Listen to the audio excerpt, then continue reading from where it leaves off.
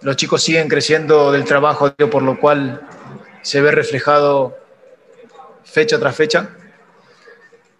Y no se puede pensar más allá porque no, no, no, sé si todavía eh, estamos en, en, una parte de, conformismo, pero eh, lo importante es que ellos van día a día, entienden la situación y han logrado cosas puro meritorio de ellos, de mis jugadores.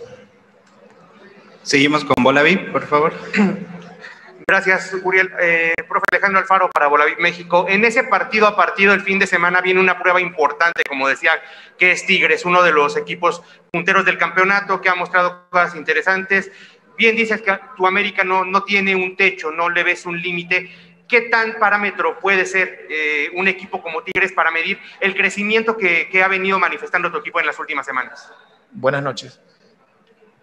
Desde el momento que nosotros agarramos el, equipo al mando en una situación difícil, todos los partidos para nosotros fueron importantes, no importa dónde se encontraban en cada posición los equipos. Eh, ellos son conscientes que cada, partido que juegan es una final. Eh, no importa si era Monterrey en su momento, no importa si era León en este último, lo han entendido de esa manera, trabajaron para poder estar en esta, en esta racha positiva y saben que mañana a la tarde de nuevo vuelven a trabajar para poder sacar el partido adelante el sábado. Es así como me manejo y es así como nos manejamos en estos 20, 25 días de trabajo. Seguimos con Marca Claro. Gracias. Por acá Adriana Maldonado de Marca Claro. Profe, preguntarle, hace aproximadamente 40 minutos América estaba ubicado en el onceavo lugar de la tabla general. Hoy son sextos y además de estar peleando por ese boleto a la repesca, pues también tendrían la opción de quedarse con un boleto directo a la liguilla. ¿Qué sensación nota con esos resultados dentro del vestidor y también eh, pues con su trabajo dentro de este club? Que bueno, ahí va dando resultados, estos cinco triunfos de manera consecutiva los tiene ahora en esos lugares y con esas posibilidades de cara a la fiesta grande. Gracias. Sí, buenas noches. Sensaciones. Trato de, decirle a mis jugadores que, vivan el momento. Eh, es inevitable ver la tabla de posición por la cual arrancamos y por lo cual estamos hoy en, en el momento. Cada partido al día siguiente yo tengo siempre unas charlas con ellos y le hago ver la realidad por la cual estaban viviendo hace un mes atrás. Si ellos intentan bajar el rendimiento o bajar el entrenamiento, vamos a volver para atrás. Entonces, una alimentación diaria a lo que ellos entienden cada partido que vamos avanzando, perdón.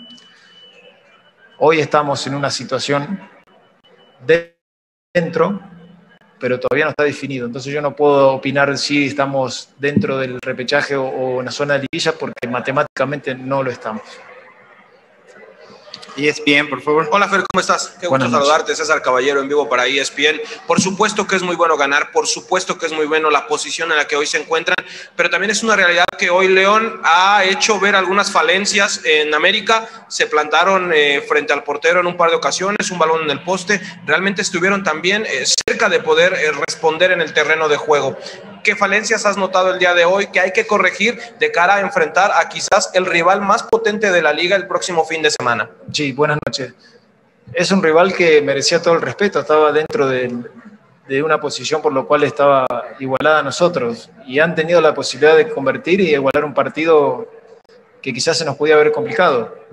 Eh, León es un equipo que ha hecho un torneo o está haciendo un torneo eh, en una posición que puede llegar a clasificar. Siempre digo que cuando se ganan los partidos hay detalles mínimos que tenemos que corregir y ha pasado. No solamente en León, ha pasado en Juárez, ha pasado en otros partidos.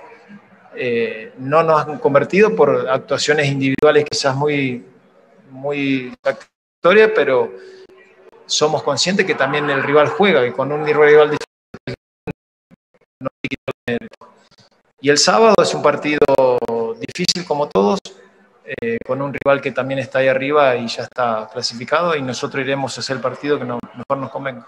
Después de lo que hemos visto, la gente, el americanismo, puede ilusionarse con lo que ha visto. Buenas noches. el equipo ha respondido a lo que venía sucediendo en el mes anterior y tuvo la, valentía y el coraje de sacar la situación. Eso es muy meritorio del jugador y siempre lo he recalcado. A equipo siempre le gusta que ganen, a veces en situaciones pasan cosas diferentes, pero decirle que el, equipo, los jugadores, trabajamos día a día para poder seguir mejorando. ¿Hasta dónde?